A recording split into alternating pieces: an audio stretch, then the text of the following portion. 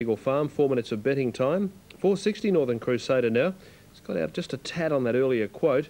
With uh, no major changes, Lincoln Road has tightened. Thunder's been pretty well supported. There's a lot of support for this filly, uh, Tally Thunder, with the blinkers back on Damien Oliver. It looks the big threat. It's the favourite on track. Prosecution and Parish Priest are second favourites on course. And then out to Baby-Faced Assassin and Our Bull Bar. Leather Lane's been a drifter and so has Emerald Zeal to a lesser extent. But Tally Thunder, the filly, is the one that they're coming for. Here's uh, Tally Thunder now coming up into the gates for Damien Oliver. Pantani the next to come along.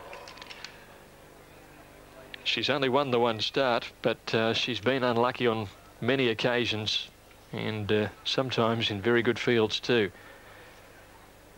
Prosecution gets to this distance for the first time. I'm sure that's going to suit him today. Here's Parish Priest coming up into the line. Maui uh, tomorrow, 12.42 the first.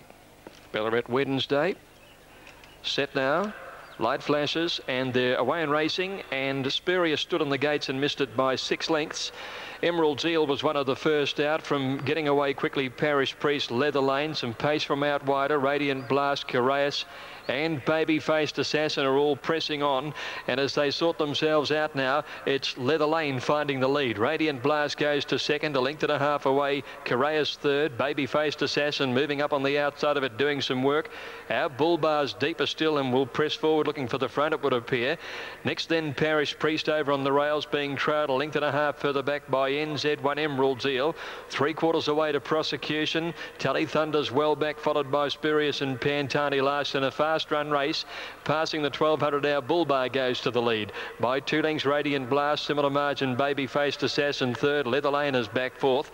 About falling, so away is Caraeus, followed by Parish Priest, and three quarters then to NZ. One and a half uh, to uh, behind these horses is Emerald Zeal, being followed by Prosecution, and then came Tully Thunder to the outside of it as they go to the railway side, and then Spurious and Pantani who bring up the rear.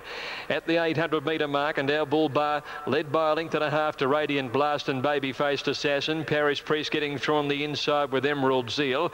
Uh, taken to the outside, Caraeus makes a quick run from from Leather Lane. They bunch up here. Pantani starts a run. Tally Thunder's working home fairly, and then Prosecution, who's about third last, but only five lengths from the leader coming around the turn. Spurious and NZ up to the bend, and our Bull Bar narrowly.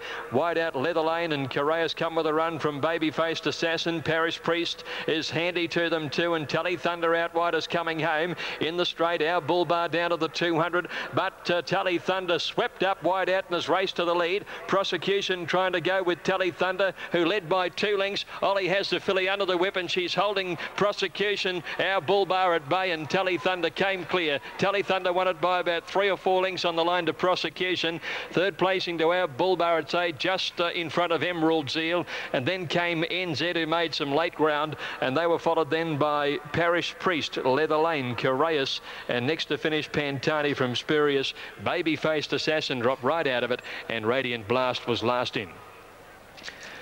The filly with the application of the blinkers again. Number five, Tally Thunder, coming from well back and sprinting right away. Scoring a comfortable win in the final event. Prosecution second. And looks like our bull bar. Yep, it's got third, so it's five, four, and one. Five, four, and one. Fourth home in the final event, number nine, Emerald Zeal. And uh,